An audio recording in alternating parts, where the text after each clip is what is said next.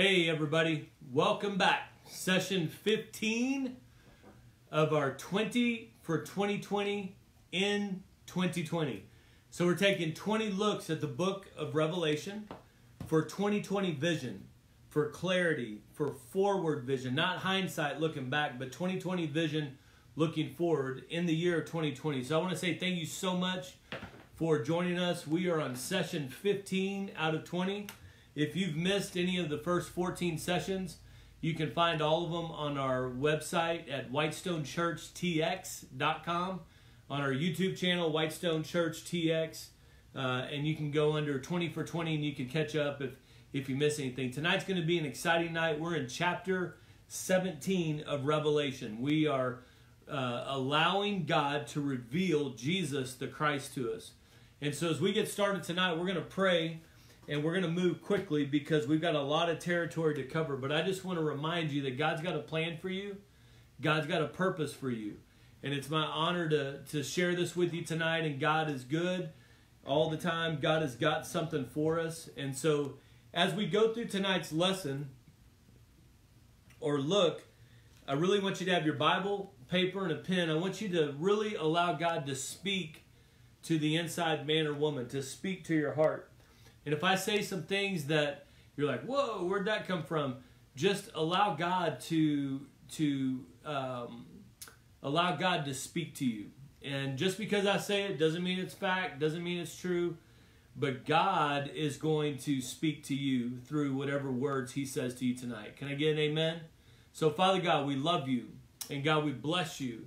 And God, we declare that you are the King of all kings and that you are the Lord of all lords. And we declare the name Jesus as the Son of God, as the Savior of the world, the Redeemer, our hope. And God, we declare that you are holy in the mighty name of Jesus. And everybody said, Amen. Turn with me to the book of Revelation. We're going to pick back up uh, and recap chapter 16. Chapter 16, we left off last night or last session with the bowls. These are the wrath of God coming to the earth. These bowls will be poured out during the last three and a half years of the tribulation, and the world will experience the wrath of God like never before.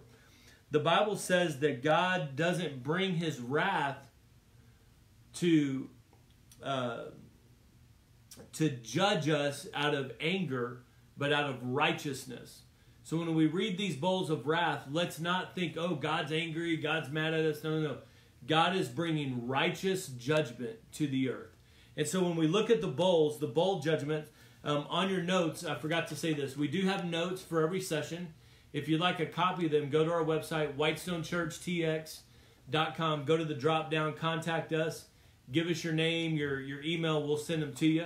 Uh, but in your notes, we'll have a recap of the first seven bowls of judgment, or these seven bowls of judgment. The first one is the bowl is poured out on the earth. I think that's a clarity to bring up. And it's poured out on people that have the mark of the beast. These people have already chose to reject God and follow Satan. And so this is a this is a judgment of boils or sores. It's the sixth plague that was brought to Egypt back when Moses faced Pharaoh. The second bowl judgment is on the sea, and it's a judgment against the earth and the and the the sea there could very well be the Mediterranean Sea, which is the which is in uh, the border of Israel and and there in the Middle East. It could mean the entire oceans. I don't. I'm not sure, but they're turned to blood, and that's the first plague listed in Egypt, uh, the first Egyptian plague. The sec- the third bowl is the bowl on water, and the water is turned to blood. Again, the first plague of Egypt. Uh, then the next four are interesting because God is rebuking Satan. So he's judging the earth and mankind in the first three, but the next four are against Satan and against his system. So just look at the subtlety of, of what happens. Bowl number four is poured out on the sun. Now, the reason that is, is because there's a sun worship the worship of the sun was created, the first pagan religion created by Satan, and that worship still takes place today. Satan wants to be worshiped, but the first judgment is poured out on the sun as a response to the worship of the sun or to the worship of something created versus the creator. Um, the fifth bowl is on the throne of the beast. He literally destroys the very place where Satan sits, and darkness comes across the earth. And that darkness we talked about last night is not just the absence of illuminated light, it's the absence of Jesus, the light. It's the absence of anything that's holy, anything that's good. And this absolutely wreaks havoc on mankind who's following the beast. That is also the ninth plague in the plagues of Egypt. The sixth one is the is the bowl on the Euphrates River, and this is a, a judgment against uh, the river itself and against the barrier between um, God's wrath and Israel, and that's a demonic army flows into Israel to destroy it at the Battle of Armageddon or to invade it at the Battle of Armageddon. The seventh one is, is a cool one. It's the bowl that's poured out into the air, and it is a destruction of Babylon. It's the last plague, but it's also a destruction of Satan, who's called the prince of the air. So as you look at those seven bowls of judgment, they're not just these things that are going to happen, they have great intentionality to them. So that's going to take us to chapter 17. And in chapter 17, we're introduced to the great harlot. So grab your Bible and we'll read a couple of these verses in just a minute. But I want to I want to read the first uh, five verses of chapter 17. Then we're going to look at an Old Testament reference to this. So turn to Revelation chapter 17, verse 1 with me. The great harlot. Then one of the seven angels who had the seven bowls came and talked to me, saying to me, Come, I will show you the judgment of the great harlot who sits on many waters. That word waters just means her, her influence is global. It's it's all across the land. With whom the kings of the earth committed fornication. And the inhabitants of the earth were made drunk with the wine of her fornication. So he carried me away into the spirit into the wilderness, a dry or deserted place, and I saw a woman sitting on a scarlet beast which was full of names of blasphemy, having seven heads and ten horns. The woman was arrayed in purple and scarlet, and adorned with gold and precious stones and pearls, having in her hand a golden cup full of abomination, and the filthiness of her fornication. And on her forehead was a name written Mystery, Babylon the Great the mother of harlots and of abominations on the earth. So, this harlot is the false prophet religious system. This harlot is not a person per se, but it is a system. It is a, a um, religious system that is con, uh, compared to a whore or a harlot because of its infidelity towards the one true God. Because it seeks a lesser lover, a lover that can't satisfy instead of the lover that pursues our soul, Jesus Christ. So I want to take us to the Old Testament in Zechariah chapter 5 for a very interesting prophecy about this great harlot, about this system, this religious system that is propagated by the false prophet. Now, before we read Zechariah, I want to say this about this harlot system. It's already here. It's already here. We've talked about the book of Revelation time after time being a panoramic view of things that have happened, things that are happening, and things that will happen. So when we look at this false prophet system of religion, we will see that it is goes all the way back to its infancy at the Tower of Babel in Genesis chapter 10.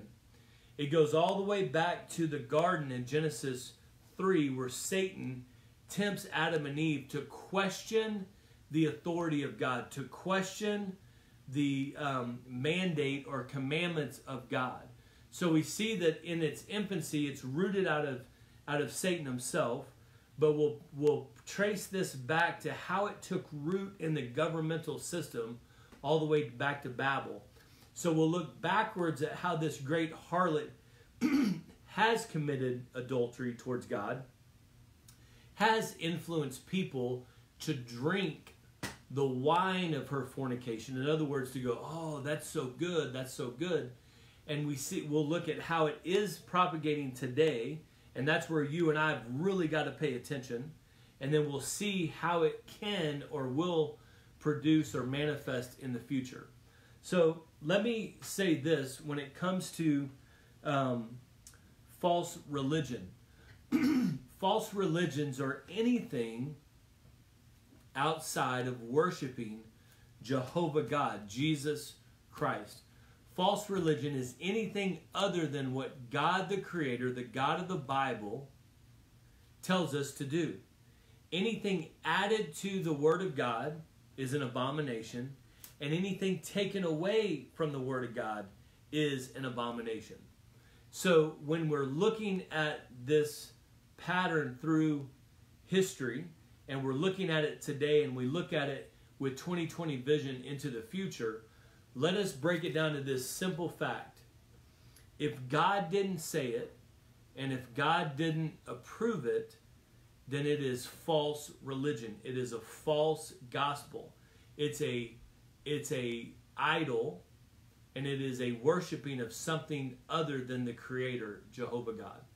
So let's look at, at Zechariah chapter 5, and let's just look at the prophecy that Zechariah, this prophet, spoke about this beast system. So turn in your Old Testament to the book of Zechariah, chapter 5, verse 5. then the angel who talked to me, talked with me, came out and said to me, Lift your eyes now and see what this is that goes forth. Now, that word go, goes forth means in the day of Zechariah, it was already moving. It was already headed towards a trajectory. It was already headed towards a point in time. So, this thing that goes forth isn't something, this false religion isn't something that Satan's just going to bring out of the blue one day. It's already on its way. It's already taking thousands and millions of people to hell with it. So I asked, What is this? And God responds, or the angel responds, It is a basket that is going forth. He also said, This is their resemblance throughout the earth. So this has a global resemblance. So when we look at false religion tonight, and that's where we're really going to zero in, when we look at false religion, you'll see a, res- a resemblance of Satan's fingerprint in all world religions. You'll see a resemblance of the rebellion towards simply what the Bible says. You'll see a resemblance that every other religion on the planet, other than Christianity, the following of Jesus Christ, you'll see an ideology that has great resemblance to that of the serpent's theology in the garden. Did God really say that? I don't think God said that. I know that's what's written in the Bible, but that's not really what God meant. Did God really say that? See, the enemy just wants us to question this much. Did God really mean it when he wrote that? Ah, uh, he meant it for them, but not you today. We're too sophisticated. Culturally, that doesn't work for us anymore. Ah, that's old thought. That's old school. We have this new revelation. We have these new prophecy. No, if God said it, he meant it. So when we look back, let's go back to Zechariah 5. This is their resemblance throughout the earth. Verse 7. Here is a lead disc lifted up, or the lid here's the lid lifted up off of the basket. So this basket had a lid on it. It had, you know, like a, a woven basket with a lid, and you're going to take something in it. He lifts up the lid, and there is a woman sitting inside the basket. Now, if you just read this in Zechariah, you'd be going, What in the heck are they talking about? He lifts up the lid, and there's a woman inside the basket. Now, we got to remember that terminology. Then he said, This is wickedness, pointing to the woman. And he thrust her down into the basket and threw the lead cover over its mouth. Then I raised my eyes and looked, and there were two women coming with the wind in their wings, for they had wings like the wings of a stork, and they lifted up the basket between heaven and earth. So this basket with a woman inside of it is lifted up and and the angel shows Zechariah the wickedness. He puts the lid back on, and these two angels or these two um, uh, uh, women coming with wings like a stork pick this up and take it between heaven and earth. Satan is the prince of the air. Satan is the prince of the air. He was the chief musician in heaven. His job was to glorify God, so he would make music. Music is airwaves. He's the prince of the air. That's what it's saying. A lot of times when God says something, Satan will go, Did God really say that? See, it's not did God really write that, but is that really what he said? See, there's a difference in reading the Word of God and taking it for what it says, believing the Word of God. So when God says something to you, Satan many times comes back with his little voice and says, God didn't really say that to you. So he questions what's in the air. So this basket is lifted up into the air. Verse 10. So I said to the angel who talked to me, now listen to this, this is so prophetic. It's this is a deep, deep passage. So he said to the angel who talked to me, Why where are they carrying the basket? The basket, let me just give a little reference. The basket represents the kingdom or the city or the government of the Antichrist. This is Satan's kingdom. The basket represents the entity of the kingdom. The woman represents the harlotry or the fornication of worshiping false gods. So the question, so I asked the angel, so Zechariah says to the angel, Where are they carrying the basket? And the angel said to, to Zechariah, To build a house for it in the land of Shinar. Now that's huge. If we're just reading the Bible and we don't understand the Bible, we'll just read right by that to build a house for it, to build a foundation for it, to build walls for it, to build a structure for it, to build a territory. If you build a house, you have to buy a piece of land. You've got to mark out your four corners. You've got to put your base down. You've got to prep the land. You've got to work the ground so the land will be hardened for the foundation of the house. This city they're building is a territory that Satan is claiming as his own. He's marked off the four corners. He's working the soil, the hearts of man, the soil, and he's hardening it so he could build his foundation so that then he could build the structure of his kingdom on. Now, this will all be physical activity of real brick and mortar, but remember the Antichrist system is already invading hearts. And that is the key. That if we don't take anything out of Revelation, take to it, God, what's my heart? Is, is the Antichrist building his kingdom in my heart? Is the Antichrist building his kingdom in my mind, my thought process? Is the Antichrist able to, to set up a house inside of me? It says they're going to build a house for it in the land of Shinar. Now that's not just coincidental. Where did Nimrod build the Tower of Babel? In the plains of Shinar. This is demonic territory.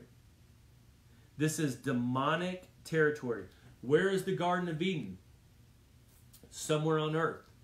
Oh, really? No, I think the Garden of Eden's in outer space somewhere. No. The Garden of Eden is on earth. There is an entrance to the Garden of Eden that an angel is posted and we can't get into it. We'll never find it. There is a gate to the bottomless pit. There is a access to the depths of hell on this earth. That's what our Bible teaches us. Evolution wants us to believe that our earth is like we got 2500 other options out there in the in the atmosphere in the universe. We're just one of billions. We're not really special. We just evolved. We're just this little dot on the map and and God forbid there's 2500 other earths out there we could have we could have uh, bubbled up out of the cosmic uh, soup and gone to the zoo, and then we could have had you. We could have done that anywhere. That's those are lies from the pit of hell. That's Darwinism. That's Gnosticism, that is atheism, that's scientism to the core. There's a real place on this earth that's a gate to Eden. There's a real place on this earth because your Bible tells you that the angel that descends from heaven will be given the key to the bottomless pit, and out of the pit will come smoke that will cover the planet. It is a physical place. So the land of Shinar is Satan's territory. And he's going to build his kingdom there. When it is ready, the basket will be set there on its base. The basket is this one world false religion. It is the system that's coming. And inside of it is the false prophet, the woman, the harlot. Now, the system itself is called the harlot, but so is the person, the antichrist, the false prophet, beast. That person, the false prophet, will be the harlot that leads the world to bowing down to demons, bowing down to false gods. We have to grasp this concept.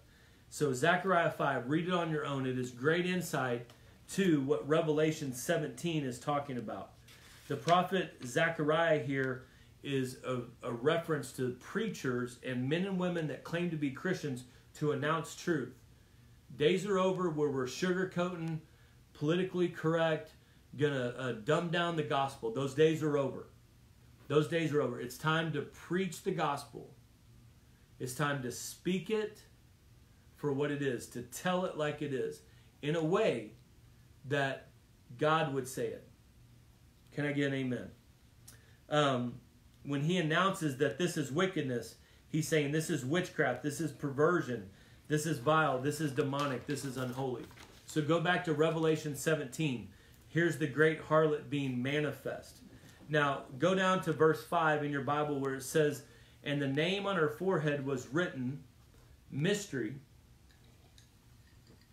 Babylon the Great, the mother of harlots and the abominations of the earth.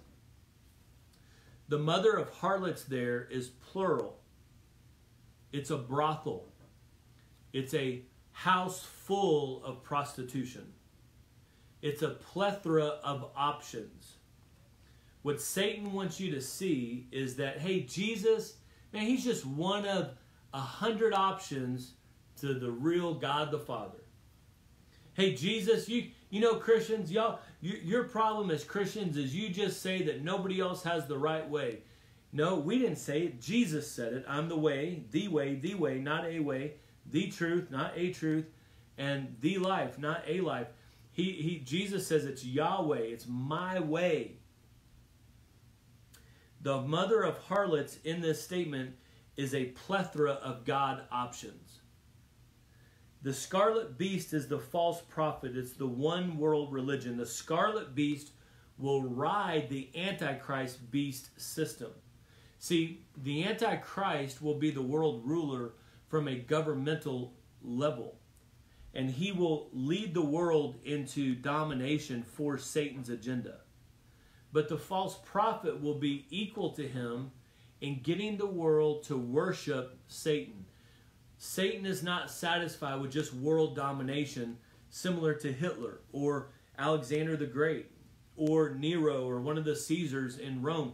They wanted worldwide domination, and they did, quote unquote, want people to worship them, but but they didn't necessarily say that they were God. This Antichrist is not going to be just okay with worldwide domination. He wants people to worship them. That's why he has a false prophet as his right hand man, his, his second in charge. Babylon is the great city. It's the kings, the merchants, the commerce. Harlotry means this false devotion. A prostitute will, will play false devotion to somebody for a limited amount of time, for a price. Harlotry flatters, it pretends affection. Pornography is destroying a mass amount of minds in our world today. And it's teaching us how to have pretend affection. It's destroying marriages, it's destroying young people's idea of love and intimacy. And one of the roots of it is the destruction of pretend affection. Jerusalem slash Israel is likened to harlotry or committing adultery or harlotry in Isaiah chapter 1, verse 21, and the book of Hosea. If you've never read the book of Hosea, Francine Rivers wrote, wrote a great book called, um, I forgot the name of it all of a sudden, Redemption Love, I think. Uh, but she wrote a book on Hosea. The book of Hosea, read that in your Bible. It's, it, I think it's like 14 chapters long. It's a great story. It's a story that shocks you if you've never read it. And I won't spill the beans. But it's not a story of just Hosea and his harlot wife. It's a story of Israel. It's a story of you and I when we chase false lovers that pretend affection, pretend to love us, but they'll charge us and strip us of our dignity and our true worship. The color purple was the predominant color. Okay, so here we go. The color purple listed here was the predominant color of Roman imperialism. Scarlet is the co- color of the Roman Catholic golden cup. So I'm fixing to get into Catholicism. I'm gonna I'm gonna talk about different world religions in just a minute. So before I st- start talking about Catholicism, let, let me just say this. Many of you watching have Catholic backgrounds. You may have grown up Catholic, or your family members are Catholic. I am not coming against people in the Catholic Church. I'm not going to speak against them there are a lot of people who are Catholic who absolutely love Jesus Christ. But I will, I do want to say this. The system of Catholicism is twisted and corrupt. There is great blasphemy going on within that system. Whether all the people agree with that or not is subject to um, individual um, experience. But the system itself is corrupt to the core. And so we're going to talk a little bit about that. We'll talk about some other religions. We're going to talk about religions or groups that you may have been a part of. I'm not attacking you. I'm not attacking your loved ones that may be members of these groups or grew up in this in this cult or this religion. What I'm saying is you've got to look at the core beliefs of these systems and say, does it line up with Scripture? And if it doesn't, is it committing adultery? Is it a harlot? Is it an abomination before God? So the color purple here, when John writes about purple, the woman was arrayed in purple and scarlet. Roman, Rome, when this was written, purple was the predominant color of, of the Roman Empire. The scarlet color is is the adopted color of the golden cup that is used in Catholicism today. Abominations means idolatry. Blasphemy is any doctrine, hear this, blasphemy is any doctrine that attempts to add or subtract from the gospel of Jesus Christ. That's an abomination. Or that's blasphemy. Salvation by works denies God's glory and its, sal- and its salvation by grace. So I want to bring up some things that the Roman Catholic Church teaches. And again, I'm not attacking people, but I am saying you have to look at the system and what's the core behind it. So when we look at this harlotry system, there's a great book by uh, Dave Hunt called The Woman Who Rides the Beast. I have not read it, so I'm not uh, um, you know, telling you everything in it is true, but I've heard a lot of interviews from him, and it's good reading material because it has good insight. I don't necessarily believe that the Pope is going to be the false prophet. I, I can't I can't bite that off and, and chew on that. I do believe though that Roman Catholicism will play a huge part of the false beast system because it's already bowing down to other world religions and accepting them as one again, I'm not attacking the people, but I am saying we've got to look at the system and the belief structure that that teaches the people. So here, stay with me. If I lost you, forgive me. Stay with me. Roman Catholicism differs from the Bible in these six or seven, eight different ways. If you remember, uh, Martin Luther nails 95 problems that he had with the church, the Roman Catholic Church, on the door, and that started the Reformation or Protestants, started all the different Protestant denominations that most of you watching worship in today. So we got to know where we came from and why. Here's a couple problems with the Catholic Church as a whole. The Catholic Church teaches that it is the only true church. Now, when I say church, they mean they are the only true denomination of Christianity. So if you are part of a Baptist or Presbyterian or Lutheran or Pentecostal, then you don't belong to the true church. That's not biblical. Uh, the Roman Catholic Church teaches that they are infallible, that anything they do or say cannot be wrong. Okay. Um, I think the last time I checked, everybody part of the Roman Catholic Church are men and women uh, who make mistakes. So, uh, the only the Roman Catholic Church has the authority to interpret Scripture. This is one of the big things on your King James Bible. When King James wanted the, the English people to have the Bible, the Roman Catholic Church went to war against people that owned Bibles. Tyndale, all these different men in the past that owned and printed Bibles, the Catholic Church warred against them because they said, You're too dumb, you're too ignorant to understand Scripture. Well, that's the lie of the enemy. The Roman Catholic Church is not the only church that can interpret Scripture. The Holy Spirit is who interprets Scripture to us and through us. Now, we can't just run with our own interpretation. We have to measure that against the entirety of the Word of God. But one of the fallacies of the Catholic Church is that they are the only one that can uh, interpret Scripture. The Roman Catholic Church teaches that the Pope is the head of the church and has the authority of Christ.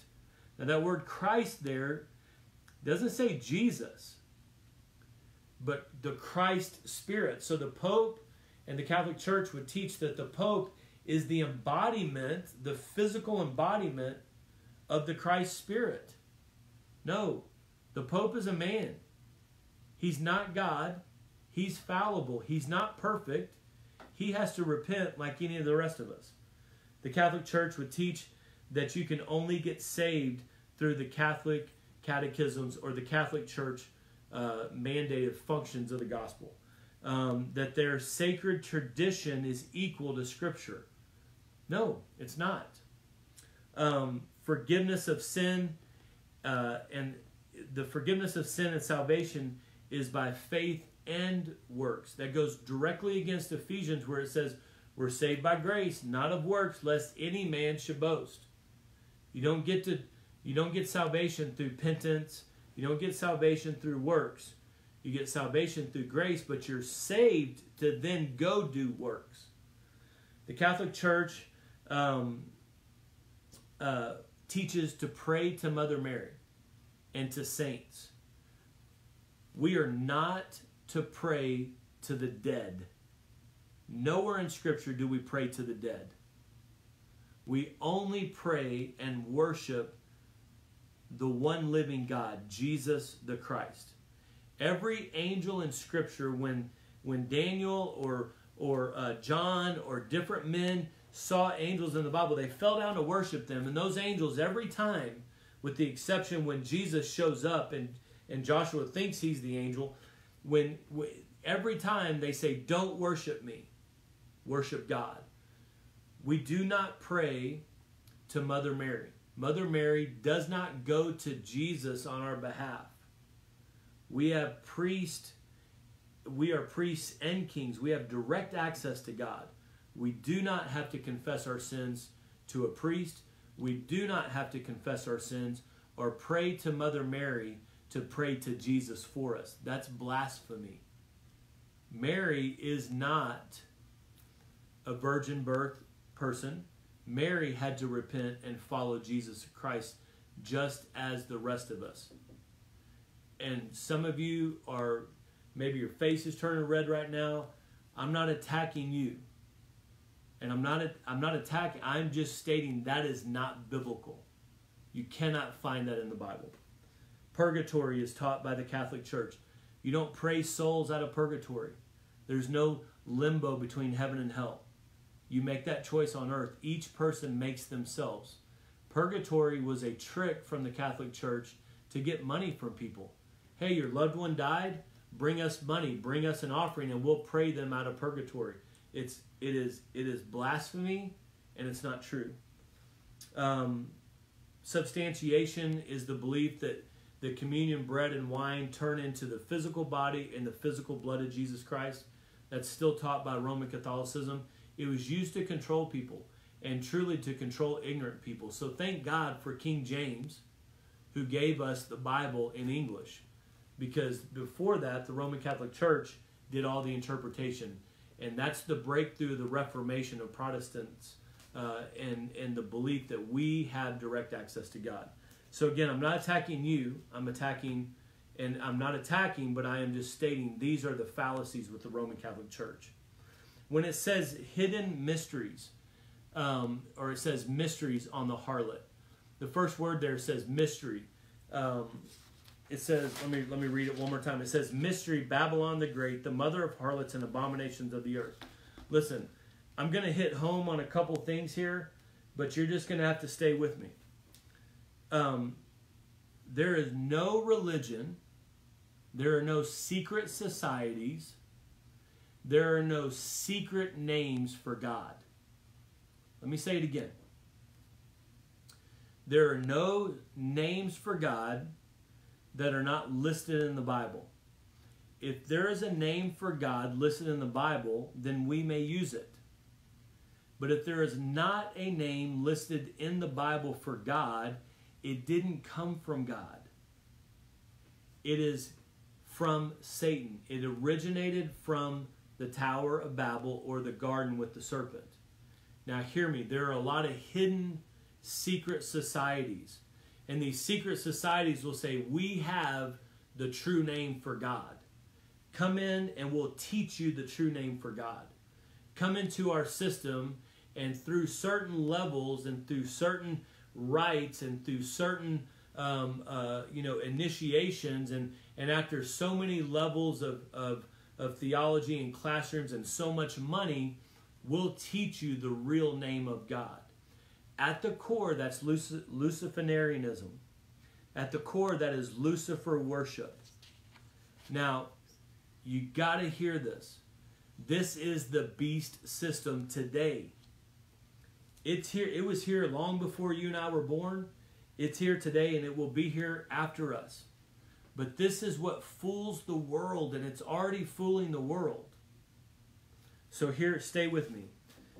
Masonry is one of the largest um, secret societies in the world. Teach its subordinates and teach its initiates that they have the real name to God. so they would call God the grand architect of the universe. That's not in the Bible. That name's not in the Bible. That is a canopy deity name. When they say in Masonry that God's name is really the grand architect of the universe, what they really are saying is, hey, you just have to believe in a supreme being. You just have to believe in a higher power. Oh, you could call him Allah, and Allah would be the grand architect of the universe. You could call him uh, Buddha. You could call him Muhammad. You could call him uh, the tree in the backyard. You could even call him Jesus of the Bible. That's a great thing. No, that's not true. God is known by one name and one name alone. And his name is Jesus Christ. So we can't serve an all inclusive God. That is a false deity. That is a God of itself. In Masonry, they'll teach you that the real name of God is Jah, J A H B U L O N, Jahbulon. And that is a mixture of three deities of uh, of, of paganism. The first one would not be paganism. The first one, Jah, is for Jehovah. J A H is listed in Psalms as Jah, meaning Jehovah, short for Jehovah. But in Masonry, they'll tell you that the name of God, the hidden secret name, is Jahbul, B U L, which is Baal, and then On, which is Osiris from the Egyptian gods. So they'll take three deities and melt them together and say that's the real name of God. Now that's in the royal arc, uh, arch of masonry in that level, and and the point is is that there's no secret names to God. God can't be Baal and Jehovah. the Bible says Baal is a false god. So you can't mix a false god with the real God and say, oh, it's the grand architect of the universe. It's not true. It's a false deity, it's a false religion. Oh, it's just a good society. No, no, no. At the core of it, I'm not saying the men and women involved in it are corrupt. I'm saying that the, the, the entity is corrupt. It is the worship of Lucifer at the core. Please don't turn me off. Stay with me. Mormonism. Mormonism is, is a false God. Joseph Smith alone said this. Listen to this quote from the father of Mormonism God Himself was once as we are now, an exalted man, and sits enthroned in yonder heavens. That is the great secret. Joseph Smith claims that God was a man just like us and now he's been enthroned in yonder heavens. I'm going to tell you, the quote goes on to say, I'm going to tell you how God came to be God. We have imagined and supposed that God was from that God was God from all eternity. We have supposed, no, the Bible teaches us that. We have imagined and supposed that God was God from all eternity. I will refute that idea. And I will take away the veil so that you may see that he was once a man like us Yes, that God Himself, the Father of us, dwelt on earth the same as Jesus Christ did. That's, that's a false gospel. Jehovah Witnesses claim that God, Jesus, is the archangel Michael. Angels are created, God's the creator. You can't have it both ways. Scientology, some of our beloved actors and actresses, Scientology, Tom Cruise, um, John Travolta, they they buy into the Scientology. Scientology says God's name is Xenu. Let me read a statement, and you can't make this up, from L. Ron Hubbard himself, the founder of Scientology. Xenu, according to Scientology, is the dictator, the god, of a galactic confederacy, confederacy, confederacy who brought billions of his people to Earth in a DC 8 like spacecraft 75 million years ago stacked them around volcanoes, and killed them with hydrogen bombs. Officially, Scientology scripture holds that Thetans, immortal spirits of these aliens, adhere to humans, causing spiritual harm. That's not made up, that's real stuff. People really believe it. They believe that God is a God named Xenu that comes from outer space and blows up his own people, and now we have to deal with these different Thetans, these immortals that attach themselves to us, so we need to go through Scientology to get clear or clean. Hinduism, uh, Brahma, the Trinity, they have their own God, their own Trinity, Brahma, Vishnu, and Shiva. Their avatars are the manifestations of one supreme God. Buddhism, Buddhism seeks to reach a state of nirvana slash enlightenment that there is no belief in a personal God, just a force. May the force be with you. Wow, does that sound familiar? Oh yeah, we entertain our kids with that all the time. That's that is enlightenment that you can't know God personally. He doesn't have a name. There's just a good versus bad force. There's just the yin versus the yang. There's just light versus darkness. there is a God who's given us his name and wants to know us personally, and his name is Jesus Christ. Luciferianism is the belief that Lucifer is good and worshipped as the true God. Paganism is witchcraft, magic, sorcery, cabal, shamanism. Just want you to be aware of some things. CBD oil is a big deal in our culture right now. And I'm not saying that the core CBD oil is bad. But when I drive down the street and I see the American Shaman CBD oil, man, my spiritual body just goes ding, ding, ding, ding, ding. The American Shaman, shamanism is paganism. Shamanism is a root from the Native Americans, and shamanism is sorcery, witchcraft, and and so let's not let's make sure that what we buy and what we use has not been prayed over or blessed by somebody that's worshiping a pagan deity. And that's what that means. And we need to start waking up to this stuff. Sun worship is modern day earth worship sun worship, we can look back and go, those stupid Egyptians worshiping the sun, Ra God, are they are they kidding me? It's just this big ball of gas that burning billions of light years away and blah, blah, blah, blah, blah. Sun worship today is earth worship. Earth worship. Earth worship is Darwinism. That the earth produced you. The earth produced you over billions of years. That's evolution Darwinism. That's sun worship. It's the same thing. We just put an educated 2020 American twist to it. Gnosticism and athe- atheism. Listen, I hope you're still with me, but I just want you to see that this harlotry, this fornication, I could talk for a day on false religions. It is false if it did not originate from Jesus Christ. If it's not the same gospel, it's not from God. Listen, I love people. And when I meet somebody that's involved in this, I don't beat them up. I don't yell at them. I just say, hey, tell me what you believe and why you believe it. And I always ask this one question hey, who's Jesus to you? Oh, he's a good guy. He's a good teacher, good rabbi, a good prophet. Yeah, I mean, he good morals, man, great morals. Uh, well, do you think he was God? No, no, no, not God. No, not God. Well, why not? Well, because I, I worship God. I am God. Do you know what enlightenment means? To look inward. Oh, Cameron has the answer. Cameron has the reasoning. Oh, I just need to look inward and find myself. I have to leave you to find myself. Okay, what are you going to find in there? You're not going to find holiness. You're going to find whatever you say is right and whatever you think is gospel. This is the false prophet system. It's not, he's going to create this new religion one day.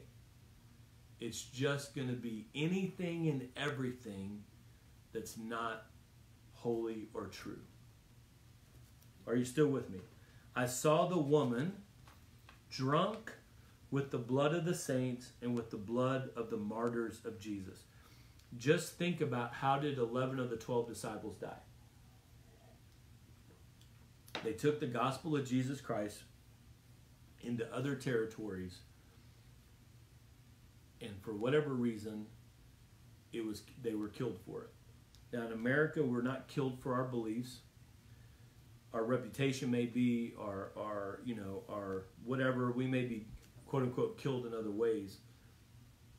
But when this beast antichrist and this false prophet beast there will be a great slaughter against those who believe the gospel. And I hear it all the time. Oh, Pastor, I hope I'm here during that great tribulation because I'm going to. Man, if we won't do it today because we're in fear of losing our job, or that girl won't go out with us anymore, or that guy's going to break up with us if I just don't do what he wants me to do, and, and if I just really tell him what I believe, if we won't stand up today, why would we stand up later? Are you still there? Look at verse 7. But the angel said to me, Why did you marvel? I'll tell you the mystery of the woman that and of the beast that carries her, which has seven heads and ten horns. The beast that you saw was and is not, and will ascend out of the bottomless pit. Mark that down, and go to perdition. And those who dwell on the earth will marvel, whose names are not written in the book of life from the foundation of the world, when they see the beast that was and is not and yet is. Out of the pit is not simply a revival or a joining of earthly empires, but a supernatural revival of demonic demonic empires or satanic empires. This will be something that comes out of the pit. It will be a religion that we haven't seen. It will be a force that we haven't seen. That all the world's religion, it will be a doctrine. It, that's what it, it's going to be a doctrine that everybody goes, oh, oh, that that's what Jesus was saying. And and the Muslim will say, oh, that's what Muhammad, that's what the Quran's saying. And and the Mormons will go, oh, that's what Joseph Smith meant. And and everybody in the world will go, that's oh, that's what L. Ron Hubbard meant. Oh, yes. Finally. It'll be happy go lucky, everybody bow down, but it won't be what Jesus said. You got to hear that. Um, the beast carries this woman, this religion, because governmental control is not the ultimate agenda for the Antichrist. The beast, look, listen, we haven't got to this verse yet, but the beast will destroy the woman and the religion and reveal himself to be worshipped directly. No more veil of false demon idol worship. Listen to this behind every idol is a demon, and behind every demon is Satan. Right now, Satan's fine if you worship idols and call him whatever name you want. But the day's coming in this Revelation chapter 17 where he will then murder and destroy the harlot, destroy the false prophet.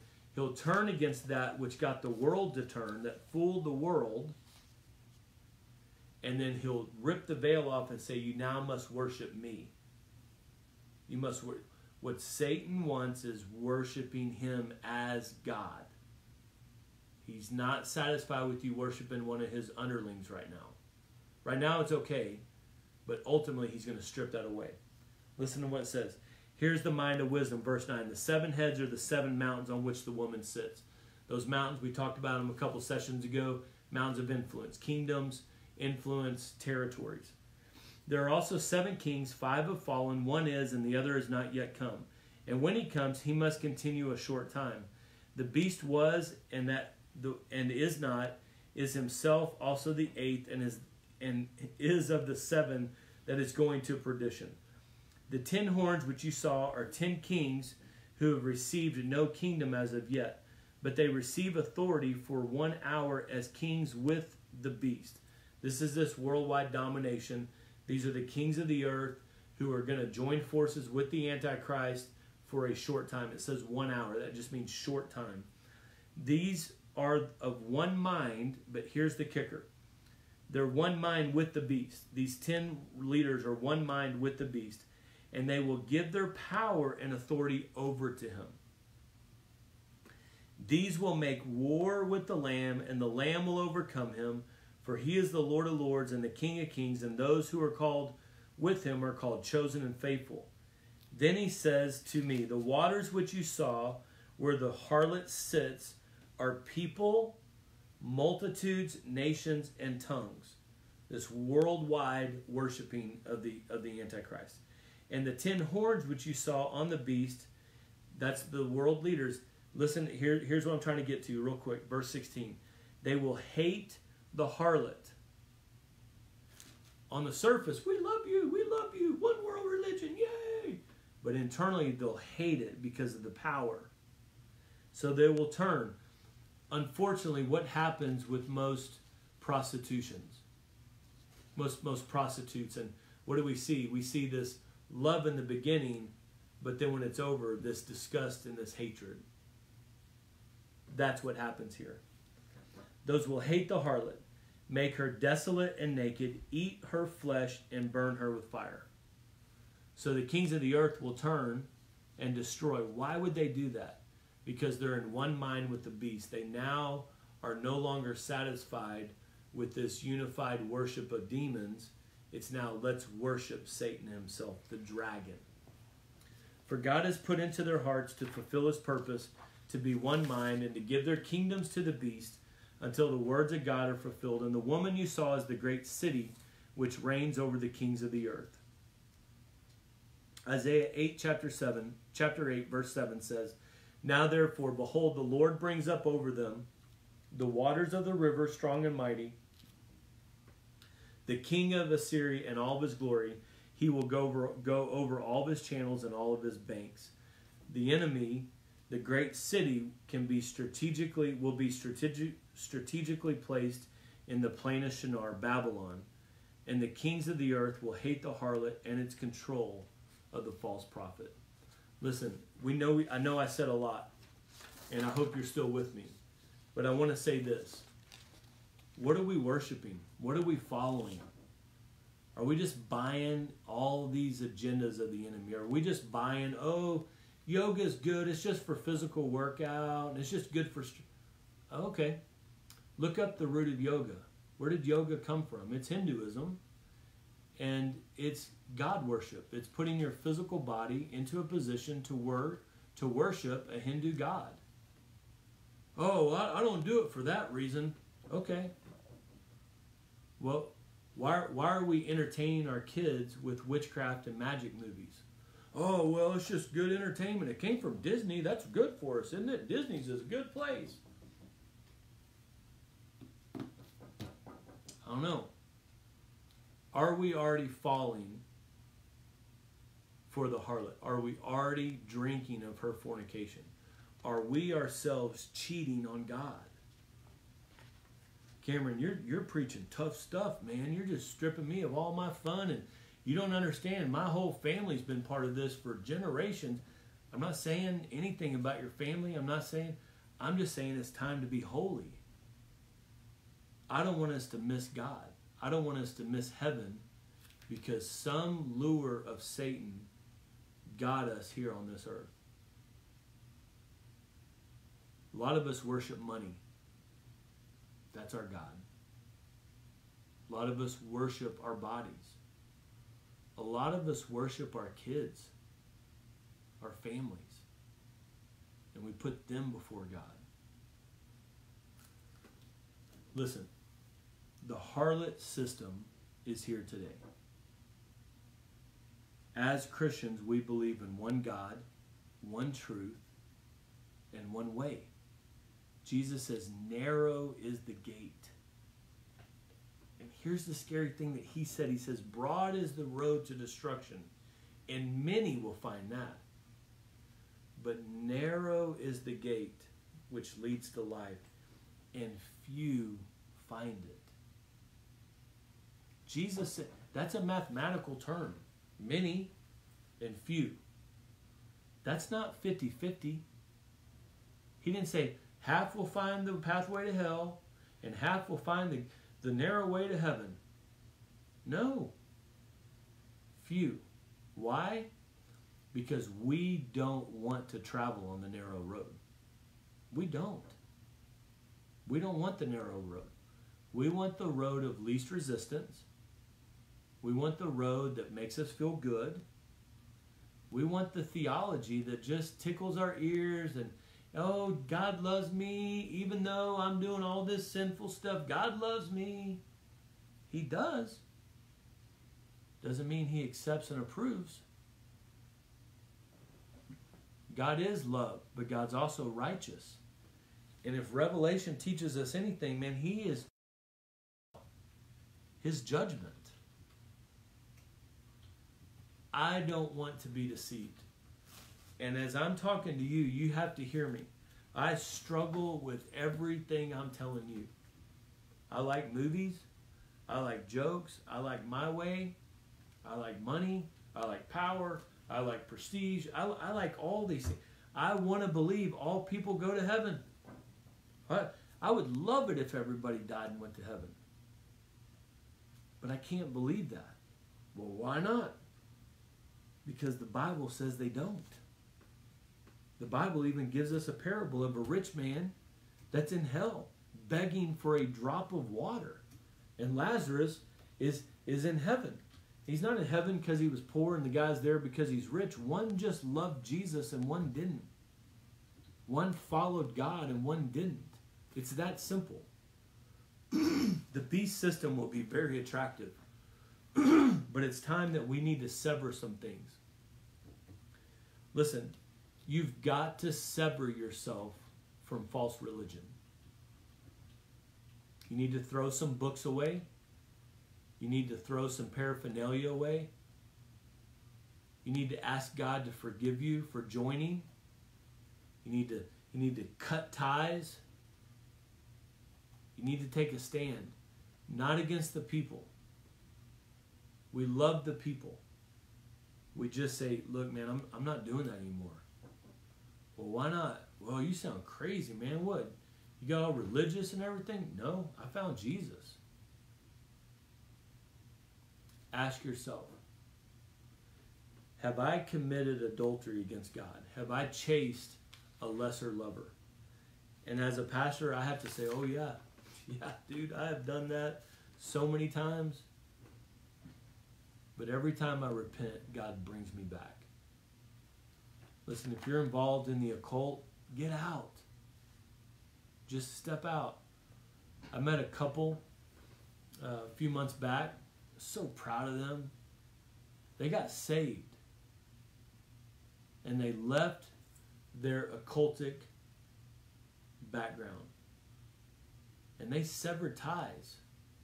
Listen, if you're dabbling in magic, the craft, if you're dabbling in witchcraft, if you're dabbling in magic games and, and Pokemon and, and all these card games that, that are all about demons and, and you got these many points and this much power and, and all this stuff, and you got to get out of that. Oh, that that's the only only time I can connect with my kids. Well, duh, I wonder who's behind that, huh? Let's not subject our kids to things that will lead them one day, not to family time with mom or dad or, or their reading's going to go up. It's teaching them occult practice, occultic, demonic practice. Witchcraft is as rebellion. A lot of people say, well, why is my kid so rebellious? Because you've been teaching them witchcraft. Mom and dad, repent. Son and daughter, if mom and dad won't do it, throw it out yourself. It's time to clean house. It's time to get ready for the return of Christ. The beast, false Christ, false prophet system is already here. And it's so crept into the church, it's so crept into the camp. God says, if my people will repent and humble themselves and turn from their wicked ways, then I'll hear from heaven. I'll answer them and heal their land. Let's bring healing. Let's get ready for this thing. Let's not be blind any longer. I hope during this 2020 for 20 this 20 for 2020 Revelation Bible study that that you may have be seeing things a little bit different. Next week we'll be with you on Monday, 6:30. Um, next week we'll we'll have five more sessions. It'll be the end of our Revelation study, and we're going to talk about the the great beast system. And the beast system is going to talk less about religious manipulation, but more about economic manipulation and governmental and educational manipulation. The beast system is already here if we can't see due to this coronavirus that this is economic warfare against America, then we're blind. If we can't see the educational warfare against our children, then we don't want to see it. If we can't see the enemy already trying to set up his one world control and power, it's simply, and I'm not going conspiratorial. I'm just saying there's a conspiracy, and it's a great, uh, it's from demon, it's from hell I'm not saying everything that happens. We're going to go back to normal. We're going to go back to some normalcy in our world very soon. But we are being prepped and conditioned for that takeover. And whether it happens in our lifetime or our kids' lifetimes, it's going to happen. So it's time that we have our eyes open to this Babylon, Babylon this Babylonian, this Babel, Babylon the great Babylon city, that's going to be the the government or the beast system that is going to come up and bring control governmentally of the world. So I appreciate your time tonight. May God bless you. God's got his hand on you. We'll see you at 1045 on Sunday morning uh, for our, our, weekly worship service. And then we'll be back with you on Revelation chapter 18, uh, session 16 uh, on Monday night at 6:30. So Father, bless us. God, I pray that that um, you would you would you would touch our hearts and anything that Cameron said that doesn't line up with your word, God, let us forget that. But God, everything that you said, would you let that hit people directly in our heart, God, where we'll it'll cause change. It'll cause change. God, forgive us of our sexual perversion. God, forgive us of our pride. Forgive us of our arrogance that says we know something better than what the gospel says. God, forgive us for when we fall for the lies of the enemy. God, redeem us. God, bring us joy. Bring us holiness. In the mighty name of Jesus. And everyone said, Thank you for coming. See you next time.